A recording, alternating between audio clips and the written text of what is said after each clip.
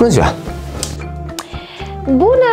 Uh, Chiar așteptam vești de la, de la tine legat de portofoliul de investiții despre care am discutat. Uh, da, după cum v-am informat și în ultima noastră conversație, mama mea este un factor decizional destul de puternic când vine vorba de investițiile mele viitoare. Deci ați vorbit cu ea? Da, bineînțeles. Da? Păi și cum a decurs discuția? Păi uh, am început prin a explica despre dorințele mele investiționare și despre portofoliul de investiții pe care doresc să-l acumulez. Băi mamă, vreau să bag toți banii pe care ni legi după și vin terenul din deal, și vaca, și tractorul în criptomonede. A, și ce a zis? Uh, ea mi-a mărturisit că nu este chiar în temă cu diversitatea acestui tip de investiții. Păi Și vrei să bagi tu banii, mă? Și ce criptomonede? Păi și tu ce ai zis? Am încercat să-i fac o scurtă fișă de informare, explicându-i importanța și în același timp necesitatea unui asemenea portofoliu. Bagi toți banii în cripto, îi dublezi, după aceea îți cumperi BMW și îți mai rămân bani și de o vacă. Ok, și ea după aia? S-a declarat puțin sceptică cu privire la volatilitatea pieței și la siguranța unei asemenea investiții. Cum să bagi, mă, banii în căcatul cele? Că am văzut eu ceva la televizor. Dacă bagi banii acolo, ai ca să pierzi toți banii. Păi și ce a urmat? Am încercat să o conving de faptul că sunt profesionist și că este o decizie luată doar pe logică, oferindu-i în același timp și niște alte exemple de succes. Și Vasilea lui Nica au făcut așa și au făcut o grămadă de bani și după aia și-au luat Mercedes de la scump și acum umblă cu el la discotecă. Dar totuși ea mi-a mărturisit că este neîncrezătoare cu privire la abilitățile mele manageriale.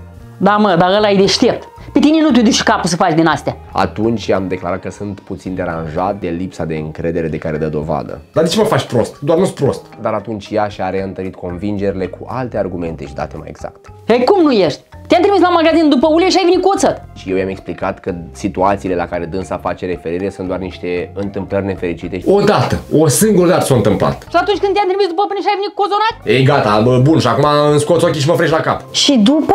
Ea m-a făcut atent cu privire la limbajul pe care îl folosesc atunci când formulez cererea. Ai grijă cum vorbești cu mine. Am insistat, oferindu-i argumente din cele mai variate, explicându-i totodată și necesitățile care stau la baza dorinței mele investiționare. Hai, te rog eu frumos că vreau BMW, că după aceea toate fetele din sat să uite la mine. Dar din păcate dânsa a contraargumentat Băi, copilule, ia lasă BMW-ul. Că dacă tu ai BMW, după ce vii cu toate pânărămile acasă. Doamne, dar ce zgârcit ești. Dar atunci ea m-a rugat respectuos să depun un efort și să încerc o reformulare a argumentului meu anterior. Și ai spus ei cum sunt eu? Ia zi. Ha, Bineînțeles că m-am văzut nevoit să reconsider tonalitatea și argumentul meu.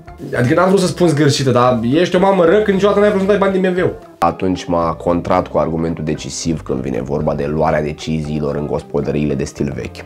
băi, faci cum vreau eu. Nu cum vrei tu. Că Ești la casa mea. Am informat-o că, indiferent de decizia ei, dorințele mele investiționare vor rămâne aceleași. Nu-mi dai? Bun. Ai să vezi că eu până la urmă vând vaca pe ascuns și tot bani niște bani în cripto. Dar atunci ea mi-a oferit genul de argument irefutabil pe care doar un părinte din zona rurală îl poate oferi. Băi, dacă mai comentezi mult, eu, eu scripto mătura și îți dau două pe scripto scenari de nu te vezi. Și la final mi-a mărturisit că își va retrage sprijinul oferit datorită îndoielilor pe care le are vis-a-vis de capacitățile mele. Eu cred că am să desmoștenesc o leacă că prea prins tu vântul cu mâna. Cu scriptomonedele tale cu tot. Ceea ce mă duce la următoarea mea întrebare. Care este? Uh, nu dețineți cumva un spațiu locuibil care să beneficieze de câteva din utilitățile de bază, cum ar fi apă curentă, încălzire de orice fel, pentru o perioadă limitată de timp până când scumpa mea mamă își va reveni în sensuri? Adică? Adică n-ai un loc în care stau câteva zile până mă primești mama înapoi acasă? Uh, Din păcate mă aflu într-o situație similară cu a dumneavoastră în urma unei conversații asemănătoare avute cu tatăl meu, în sensul în care el a formulat îndemnul de a mă duce la muncă cu ajutorul unei legume și al unui părinte, amenințând printr-o prezență demonică. Adică? Adică mi-a spus uh, la muncă futus ceapa mătii, că altfel te ia mama dracului.